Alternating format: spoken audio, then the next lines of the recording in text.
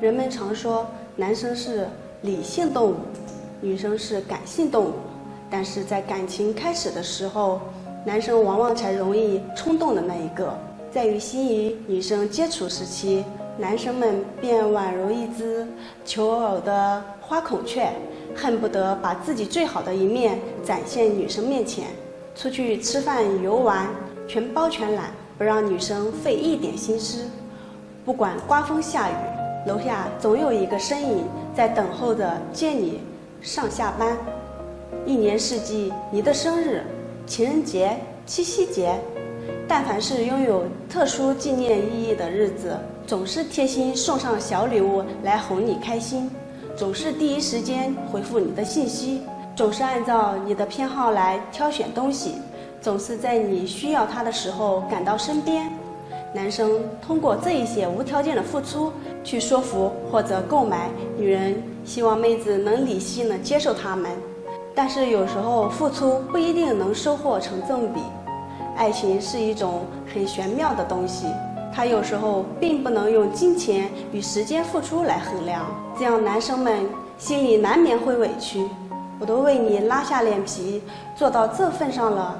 你怎么还可以不喜欢我？这个是女人故意装清高，把架子拿得这么足。但是转念一想，又是和父母的抱怨，我省吃俭用供你读书，你咋能不能那个年纪一回来有什么差别？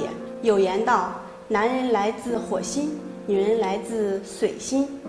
男生女生看待感情的角度，也许存在本质上的偏差。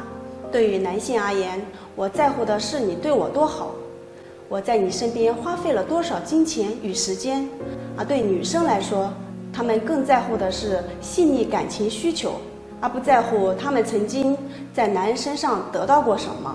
也许一块名贵的手表，比不过他患病期间的陪伴；一顿昂贵的西餐，比不过亲手温热的牛奶。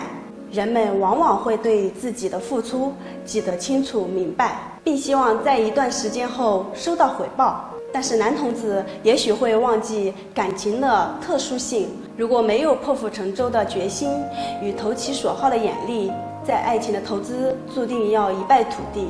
我们喜欢一个女孩，因为这个女孩身上的闪光点深深地吸引了我，我被她魅力所折服，是因为她本身。